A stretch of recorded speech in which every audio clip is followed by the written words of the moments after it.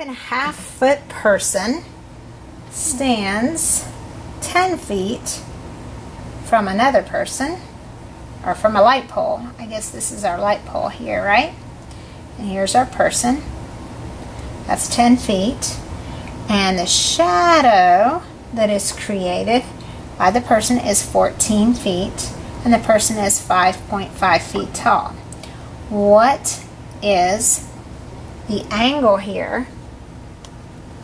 Um, and how tall is the height of the street light? Okay? So, we actually are trying to figure this out. And you can do a couple things to do this. You can use proportions or you can use trig. And since this is a trig unit, we're going to use trig. So let's first figure out what this angle is. Once we figure out the angle, do you see how we have two triangles? We have a small triangle here we'll use to find x. And then we have a larger triangle here that we can use once we find x to find the height of the pole. So let's focus on just this small triangle. Okay, let's figure out x. So these, using just the small triangle, which two sides do we have? We have opposite adjacent, so we have tangent. So the tangent of x is equal to 5.5 over 14, or the opposite over the adjacent. Since we're solving for an angle, what do we know we have to do? We have to use our inverse button. So we're going to use the second tangent of 5.5 divided by 14.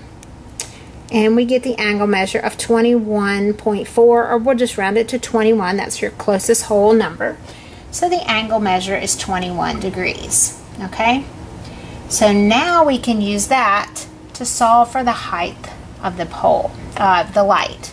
So now we're going to use the opposite, and then we don't know this side. So it must be this side we're going to use. Now notice, how long is this whole side?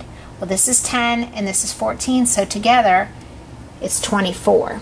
So we're going to take the tangent of 21 is equal to the opposite x over the adjacent, which is 24.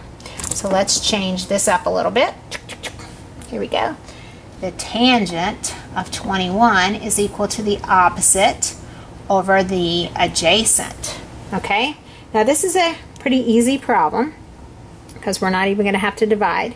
So the tangent of 21 times 24 when we do our cross product is 9.2.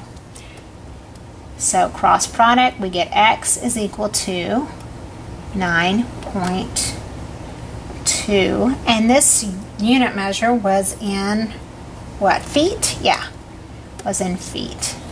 And that is how you do it. So the light post is 9.2 feet tall. Okay? So that is number seven.